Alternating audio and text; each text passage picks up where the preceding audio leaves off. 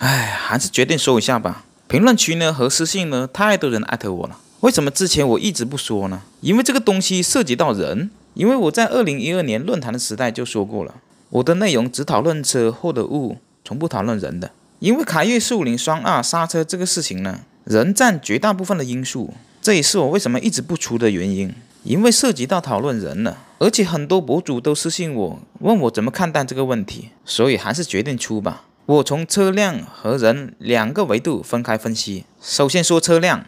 凯越这个刹车呢是自己的品牌，它的目标是用更低的价格，要达到甚至超越 Brembo 的性能。要把一台车的刹车性能调强很难，调弱就很简单。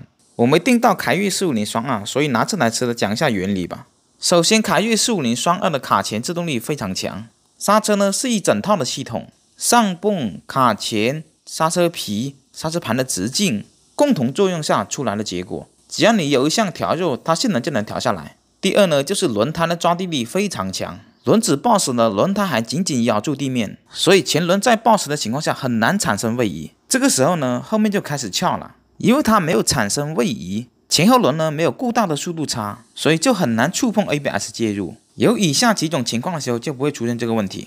第一种是抓地力不好的路面，即使轮胎抱死了，前轮依旧可以向前滑移，前轮的速度为零，与后轮形成一个速度差。这时候就释放前卡钳的压力，减小卡钳的力度，让前轮从 boss 中旋转出来。第二种呢，换抓地力弱一点的轮胎，在前轮 boss 车辆临近翘尾的时候，让前轮的轮胎适当的滑移，有了一定程度上的滑移，就给后轮有个旋转的机会，从而呢形成速度差而释放前卡钳的压力。另外一种情况呢，当前轮 boss 重心迅速向前，导致后轮也 boss，前后轮呢都没有检测到速度差，然后就翻了。第三呢，降低一点刹车皮的摩擦系数，降低它卡钳的刹车力度，避免大力刹车的时候力道过强。那为什么凯越不降低它的性能呢？原因呢，很有可能是这个 Brembo 呢是国外品牌，在国内呢有生产线，供应给国内的几个大厂，是不是签有独家供应，或者是同性能、同系列的卡钳？不能供应给他家，Brembo 呢要考虑在中国，你又是我最大的客户，因为一套成熟的刹车系统是刹车厂家和摩托车制造商共同调试的，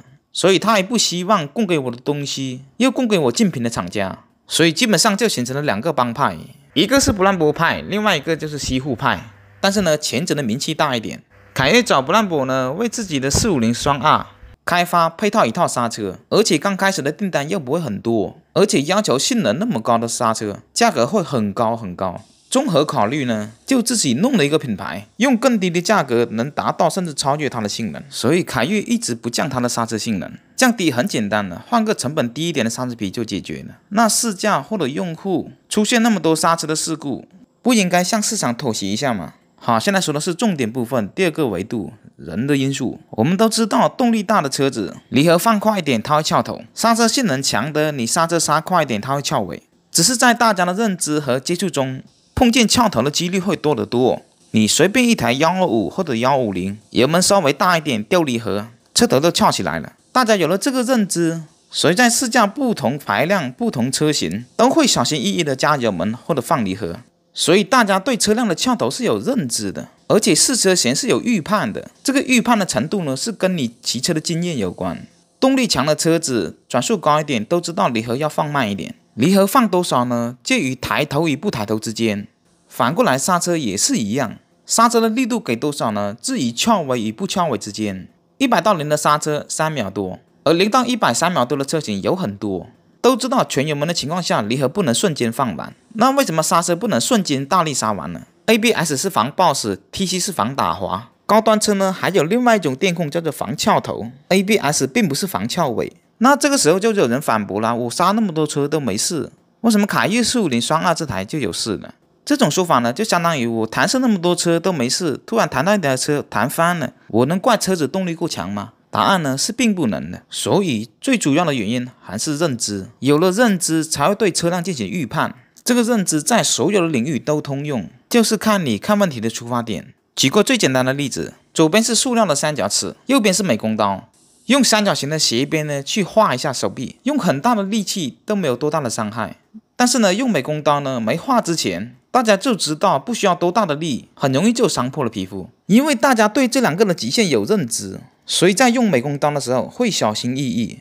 好，回到车上也是一样，大家对翘头是有很大的认知，所以油门和放离合都很小心翼翼，对刹车的认知则少得多得多。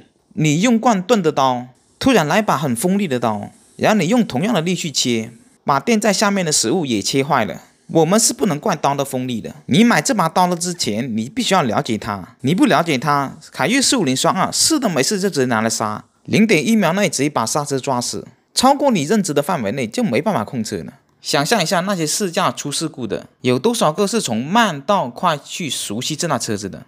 刹车是有几个从轻到重、慢到快这个过程去适应的？大多数都没有，都是猛的抽、猛的刹、猛的压弯。最终将问题都丢给厂家。有些人呢会借此炒作，怪厂家生产出来的菜刀太利，怪烟花炮竹的威力太大。我买回来使用的时候很容易伤到我，都是以自我为中心。有这样的观念呢是不对的。车辆呢只是一个物体，只是一个机械，它的加速、极速、快慢，它的所有的指令都是由你大脑控制。它的性能超过你的认知，那你就要小心翼翼。它是死的，你是活的。它适应不了你的，是需要你去适应它。当你实在没有能力驾驭好它，那就不要选择它。或者是非常喜欢这台车，那怎么办呢？那选低配就好了，卡钳的力道没有那么强，动力都是一样。这期呢，说话的语气比较重一点，因为已经关系到人命关天了。大家不要在未知或者不熟悉车辆的情况下去尝试测它的极限。尝试可以有无数次，但是生命只有一次。